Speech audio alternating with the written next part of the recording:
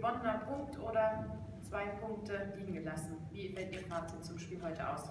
Nein, ich denke, dass, dass wir mit dem Punkt äh, absolut zufrieden sein sollten. Ähm, ich denke, wir haben gegen einen VfL gespielt, der insgesamt etwas sicherer war in, in äh, seinem Kombinationsspiel, in, in, den ganzen Abläufen selbstbewusster aufgetreten ist.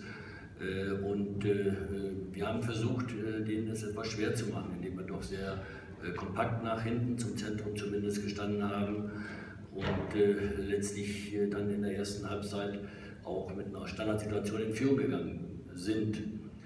Ähm, für uns war es schon blöde, dass dann kurz äh, vor der Halbzeit dieses äh, ja, äh, unglückliche Tor gefallen ist und wir nicht mit einer Führung in die Kabine gegangen sind. Und in der zweiten Halbzeit war es halt ein Spiel, was durchaus auch für den VfL dann ausgehen kann mit der Elfmetersituation.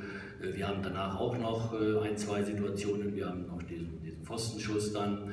Äh, und insofern denke ich auch, dass es von unserer Seite aus, äh, oder dass ich es zumindest für ein gerechtes Ergebnis äh, halte vom ganzen Spielverlauf und wir damit auch, das habe ich den Jungs zumindest gesagt, zumindest wieder in der Spur sind.